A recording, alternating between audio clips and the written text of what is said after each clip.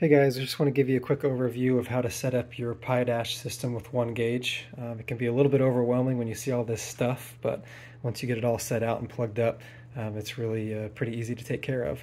So obviously here you've got your OneGauge hub. All your sensors are going to run into this. In this case, we've got a single oil pressure sensor right here that runs into the screw terminals. And then this customer has an OBD2 setup. So we've got the OBD2 going into the uh, CAN bus port here. Now I've got um, two sets of power wires.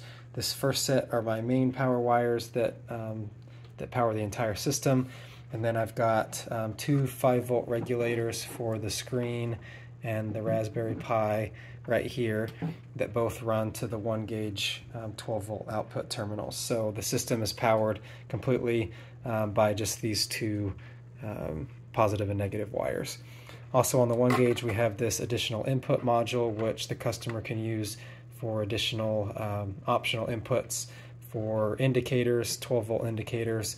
So things like a fan coming on, fuel pumps, basically anything that you would want um, an indicator for, seatbelt, you know, door open, door ajar, that type of thing.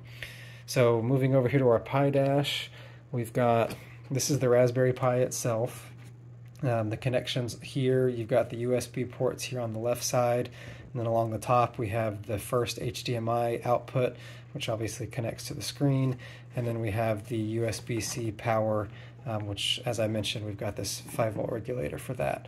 This blue board here on the right is the, um, it's what handles all of the, the screen output, so um, the HDMI cable goes into here, and once again we have an, a USB-C cable for powering the screen itself. Then on the screen, um, this black cable is actually the optional touch screen, so it allows you to be able to move the cursor um, to move between dashes and things like that using the um, touchscreen functionality on the screen. So um, basically, you know, your essential connections are your two USB-C power connections, which are both on the circuit boards, and then the HDMI cable that goes between um, the, uh, the, the Raspberry Pi and the circuit board for the um, screen. And then the touch screen portion is just it's just a USB connection.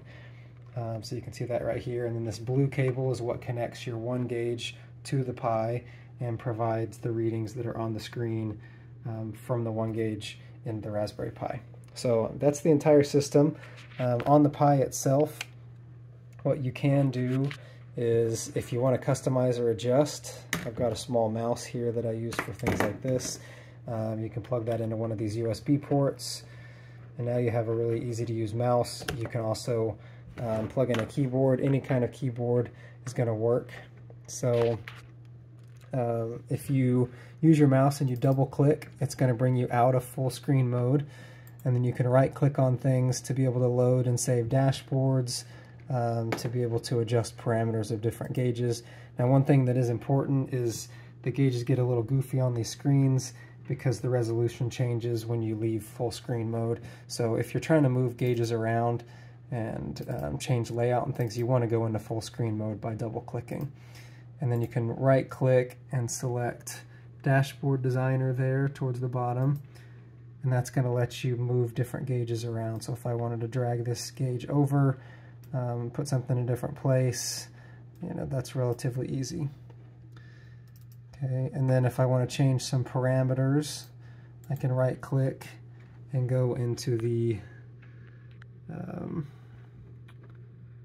the dashboard designer tab and the main one that you're going to be using there is the properties dialog which allows you to change things like minimum maximum value of the gauge. You can change when the reading turns red or yellow for warning lights those types of things as you can see right there that negative 40 is giving me um, a warning reading. That's going to be looks like that's for fuel temperature. So you can customize all that on your screen. Um, these tabs here on the bottom are all, are, are all your different screen designs.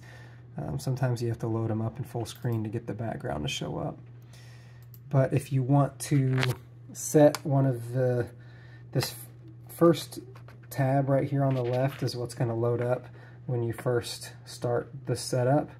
So if you do want to change your default screen, you're going to need to load in one of the other um, designs and you can do that by right clicking here, hitting load. You can go to load dashboard and then you click other and the three dots to open up the menu and you'll be able to you'll be able to scroll through your TunerStudio projects and then OneGauge and then dashboard and there's a bunch there's all the different dashboards there that you can load up and then customize on this screen. So uh, we'll do another video in the future about customizing and changing your your screens and doing all those types of adjustments but hopefully that gets you started